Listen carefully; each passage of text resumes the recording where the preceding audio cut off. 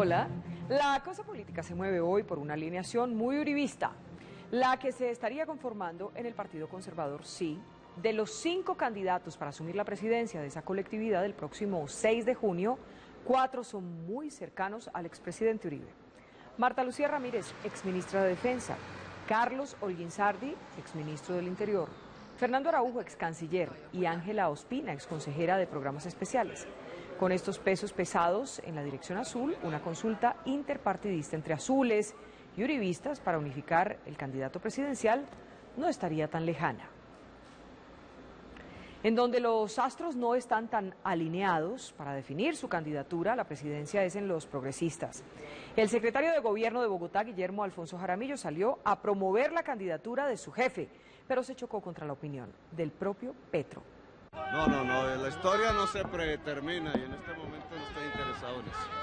Mm. Esto de las campañas políticas en las que los directos afectados, es decir, los candidatos son los últimos en enterarse, se está volviendo pan de cada día. Fue también el caso del ministro de Vivienda, Germán Vargas, con esta polémica valla que apareció en el municipio de La Estrella, en Antioquia.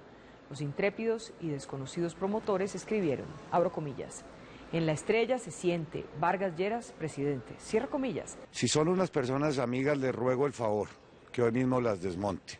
Y si, como me temo, son contradictores, quiero pedirle al Consejo Nacional Electoral que ordene de inmediato el desmonte de las mismas.